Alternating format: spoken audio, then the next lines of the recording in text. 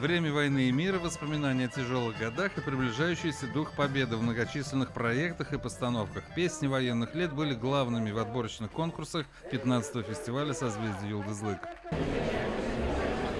Сегодня большой десант ветеранов войны и тружеников тыла со всего Татарстана, а это 300 человек, впервые собрались в театре Тинчурина на новой постановке «Гора влюбленных».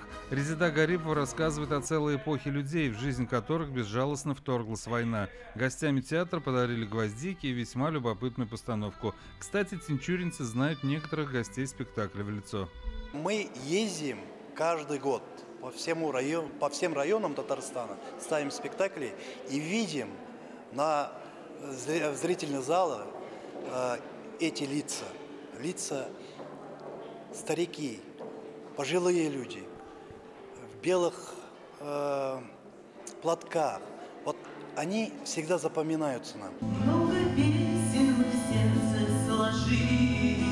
Ветераны войны, участвовавшие в боевых действиях, те, кто дошел до Берлина, труженики тыла и дети войны быстро заполнили сегодня и зрительный зал Дома актера имени Марселя Залимжанова. Для них был показан музыкально-поэтический спектакль с участием лицедеев города.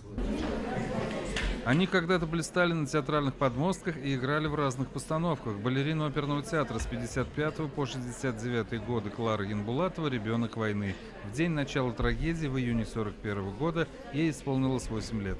Пришел у нас был сосед такой дядя Ваня.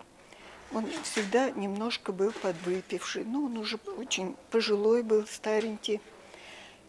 Это был воскресный день, я хорошо помню, было воскресенье была хорошая погода, и вот идет дядя Ваня и, значит, говорит, война началась.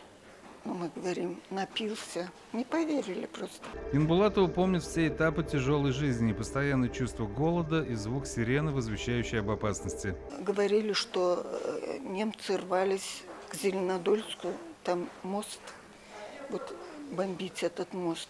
В эти дни в Казани работает и французский телеканал Меца, который будет транслировать оперу Назиба Жиганова «Джалиль» на несколько сотен европейских стран. На очереди еще один творческий проект Качаловского театра о роли женщины в Великой Отечественной войне.